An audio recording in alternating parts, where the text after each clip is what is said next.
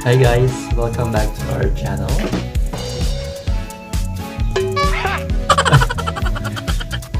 Tsura mo dun ang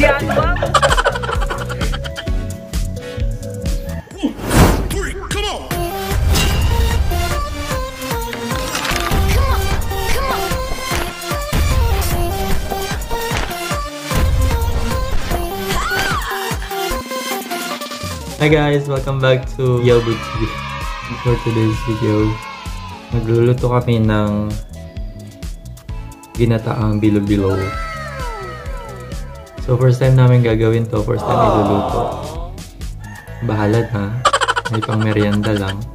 We're trying something new.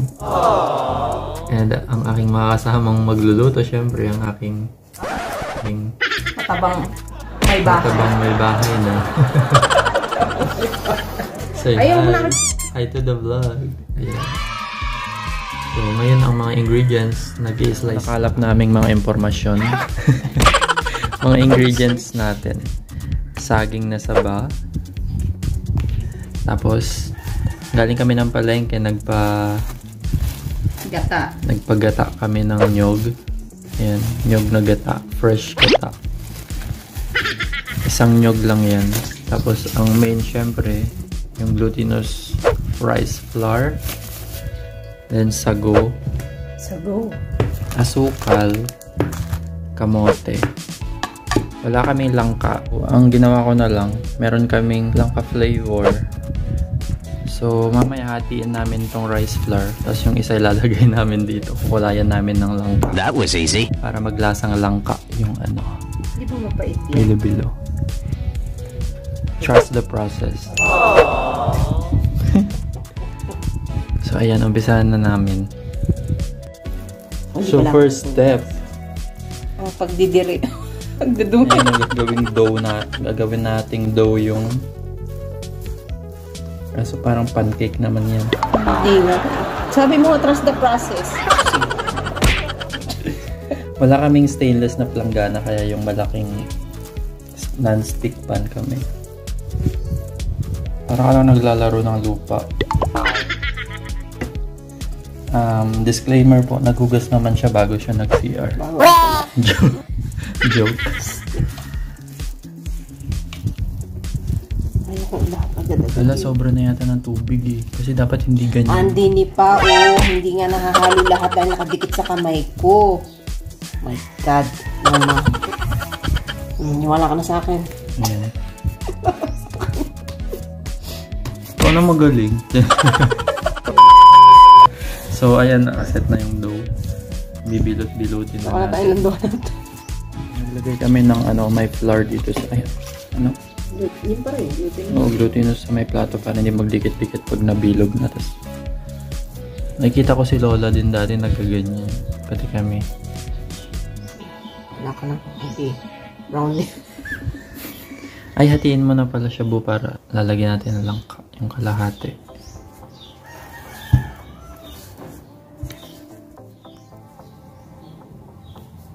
Tatago.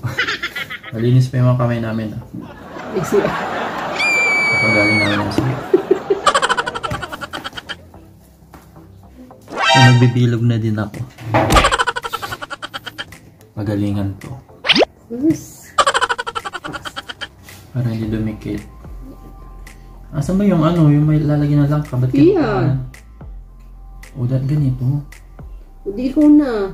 Ikaw na magbilog. Hindi nga ako marunong nito. Hindurutot na. Sa palad may paikot. Kami-kami wave. Yun o. Negro na nga ako sa camera. Fake camera. Fake. Against the light ka kasi. So, ano pala lalagyan ko na ng langka yung isa.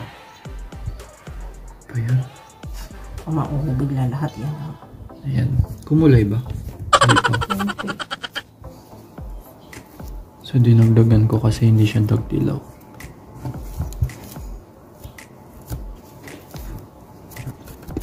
Ay, usog ka na. Baka maano. Sandali lang. Ah, may tinapay na siya.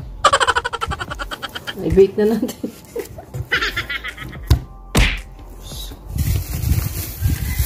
Yung itsura ng nagmamasa. Alin ba? Ano? Kasi lagi yung pagmumukha pangit naman.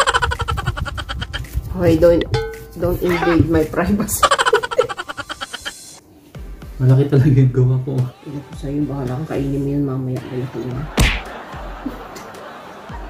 Malaki yung gawa mo. Depende kung mabilis ka. Bilisan ko na. Sa kanya parang ano lang. Huwag kang makialam sa'yo. Parang ewan, laki-laki. Kakain yan. Dragon. Apakalaki. Sana maging successful tong ano namin bilo-bilo. Pero malamang kulang sa lasa kasi wala lang ka. Optional lang naman yung langka eh. Mas malasa siya pag may langka. Okay. Pero masarap pa din naman yung ano. Trust the process. Sabi mo nga.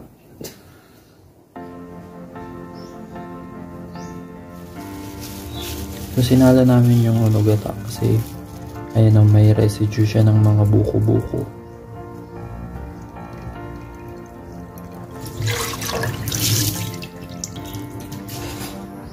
Kinalog-kalog mo ba yan? Hindi. Kasi kalog-kalog yung parang. So nailagay na yung coconut oil. Ay, coconut cream. Coconut oil ka dyan. coconut cream. Ito pala ng coconut. oil. Papakuluan natin yan. Tapos, asukal. At tansyahin lang. Kung sobrang tamis or matabang, dagdagan na lang mamaya. So, kailangan daw halo-haluin siya. So, antayin na lang natin kumulo yan. Pina-perfect pa niyang pagbibilog.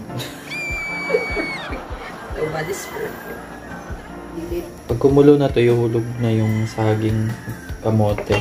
Tsaka kamote. Pero tingin ko, ubuli mo ilagay yung saging kasi luto na sabi natin sa saging. Ayan. Nahuli daw yung saging. Hulog na natin yung ga ah, gabi. Ano ba? Kamote.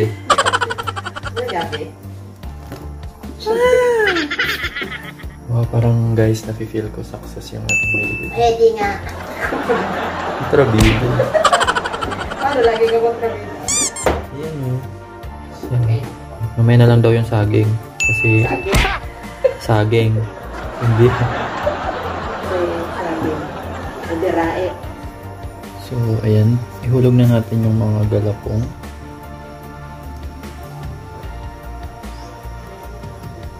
Kailangan isa kasi magdidikit-dikit.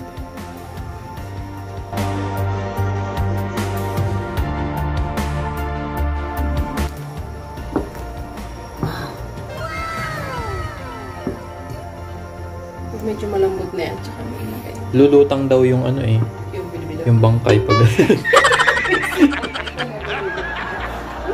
Lulutang daw yung bilo-bilo pag ano na luto na siya. Yung bangkay talaga. May bang- May bangkay pala dyan, hindi ako na-inform. Maglalag maglalagay tayo ng konting ano, konting rice flour para lumapot yung sabaw. Kasi masyado siyang matibig. It's a success. Proud yarn. Proud kami. Malaki Ganda nga ito kung may kulay yung sago.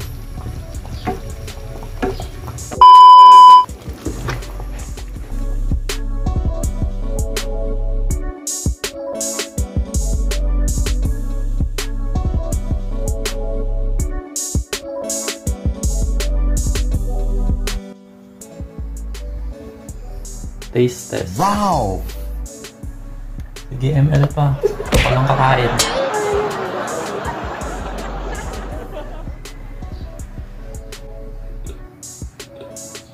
Nabusog na ako tuloy sa kakatikim ng ano.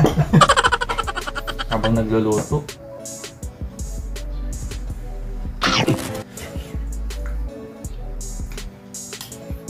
Ala. Mas ganun. Sarap.